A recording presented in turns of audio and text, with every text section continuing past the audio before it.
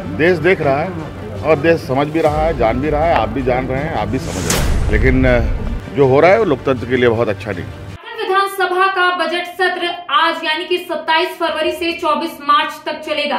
इस बार भारतीय जनता पार्टी का कहना है कि उनके पास काफ़ी मुद्दा है सरकार को घेरने के लिए। चाहे हम 1932 खतियान के आधार पर स्थानीय नीति की बात कर ले या फिर नियोजन नीति की बात कर ले, लेकिन दूसरी ओर लगातार यूपीए की ओर से ये दावे किए जा रहे हैं कि मुख्य विपक्षी पार्टी यानी कि भारतीय जनता पार्टी के पास इस बार कोई भी मुद्दा नहीं है। लेकिन जब आज पहला दिन था बजट सत्र का, शोक के बाद मुख्यमंत्री हेमंत सोरेन विधानसभा परिसर से बाहर निकले तब कई मीडिया ने उनसे सवाल किए कि आखिर इस बार का बजट कैसा रहने वाला है? और दिल्ली के डिप्टी सीएम मनीष सिसोदिया की गिरफ्तारी को लेकर जब उनसे सवाल पूछे गए तब उन्होंने इन दोनों सवालों पर क्या कुछ कहा है पहले आप सुनिए। आराम से आराम से आराम से आराम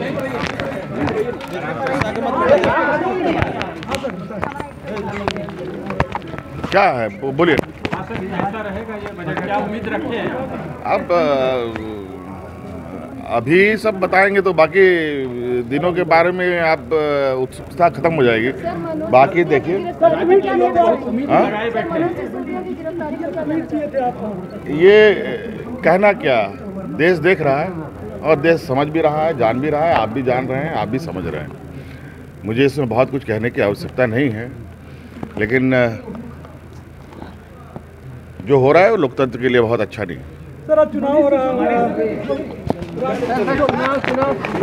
इस वक्त आप सुन रहे थे झारखंड के मुख्यमंत्री हेमंत सोरेन को जिन्होंने स्पष्ट रूप से कहा है कि बजट के दिन का इंतज़ार तमाम लोगों को करना चाहिए और तमाम चीज़ें बजट के दिन रखी जाएगी और पब्लिक डोमेन में भी वो आ जाएगी। तो वहीं दूसरी ओर दिल्ली के डिप्टी सीएम मनीष सिसोदिया की गिरफ्तारी को लेकर मुख्यमंत्री हेमंत सोरेन ने कहा है कि आप सभी को पता है, आप भी देख रहे हैं, हम भी देख रहे हैं और ये पूरा देश देख रहा है। और इस कार्रवाई को लेकर मुख्यमंत्री हेमंत सोरेन ने कहा है कि लोकतंत्र के लिए ये खतरा है। फ़िलहाल मेरे साथ इतना ही, कैमरा पर्सन के साथ करिश्मा सिन्हा, न्यूज़ बाईस को, रांची। चार धामों में से एक, रामेश्वर धाम सहित तिरुपति बालाजी, कन्याकुमारी मदुरई माँ मीनाक्षी देवी और श्री मल्लिकार्जुन ज्योतिर्लिंग का झारखंड में सबसे कम दर पर सब परिवार दर्शन लाभ का अनुपम अवसर। संपर्क करें माँ कामाख्या धार्मिक रेल यात्रा। केसरी नर्सिंग होम, पहला तल्ला, पिस्का मोड़, रांची। झारखंड बिहार की तमाम ताज़ा तरीन खबरों के लिए देखिए न्यूज़ बाइस्कोप अब जियो टीवी पर भी उपलब्ध। इसके अलावा तमाम बड़े सोशल मीडिया प्लेटफॉर्म पर भी उपलब्ध है। बिहार में सिटी केबल पर चैनल नंबर 232 पर देखें लेटेस्ट खबरें और डाउनलोड करें प्ले स्टोर से न्यूज़ बाइस्कोप ऐप।